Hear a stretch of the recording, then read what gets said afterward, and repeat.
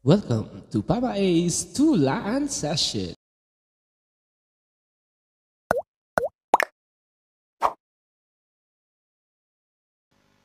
Ang piyesang ito ay pinamagatang Manhid. Hay, may libreng oras ka ba? Pwede ba kitang maabala? Gusto ko sanang hiramin saglit ang iyong mga tenga.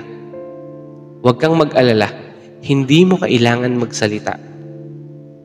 Baka kasi ito na rin ang pagkakataon ko. Mga sandali na may lakas ng loob at handa ng tumayo. Oras na para sabihin at malaman mo itong damdamin na matagal nang inililihim at tinago. Oo, tama ang mga narinig mo. Matagal na kitang gusto. Simula pa nang makilala ko ang tunay mong pagkatao. Simula nang ipakita mo sa akin ang iyong mundo. Yung mundo mong hindi perpekto. Mundo na gusto mo lang naman ay may isang tao. Tao na mag-iingat at magpapahalaga sa'yo. Tao na kailanman ay di sasaktan ang iyong puso. Nandun ako. Nung mga panahong nasasaktan ka ng kung sino-sino. Nandun ako nung akala mo siya na yung tamang tao. Nandun ako sa bawat pagbangon at pagluha mo. Nandun ako pero hindi ako ang nakikita mo. Matagal kong sinuri ang aking sarili. Kaya ko bang sa piling mo ay manatili? Kaya ko pa bang makita kang humihikbi? Makita kang masaktan muli? Sagot ko ay hindi.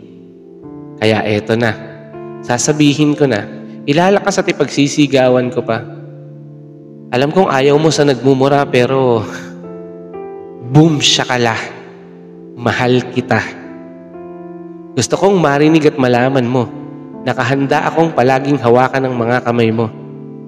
Handa akong ingatan ng iyong puso. Handa akong pahalagahan ng bawat kilos at oras na ilalaan mo. Madaming bagay ang sigurado at ako'y desidido. Pera lang sa isang bagay na ikinakatakot ko. May kahahantungan kaya itong pag-amin na gagawin ko. Maalis kaya nito ang mga piring na nakatakip sa mata mo. Makita mo na kaya na may isang ako na laging nasa tabi mo. Isang ako na pagbasang-basa na ng luha ay mag-aabot ng panyo. Ako nakatabi. Nag-aalalay at nagsusuklay ng buhok mo. Ako na pag may date ka ay nakabantay sa malayo. Pero eto, sa wakas na amin ko na. Napakawalan ko na ang damdamin na kumakawala. Pero sa kabila man ito, ay manatiling di mo pa rin ako makita. Huwag kang mag-alala. Hindi ko sa pilitang aalisin ang piring sa iyong mga mata.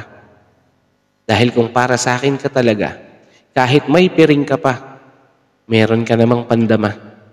Oo, mahal kita. Kahit bulag at manhid ka.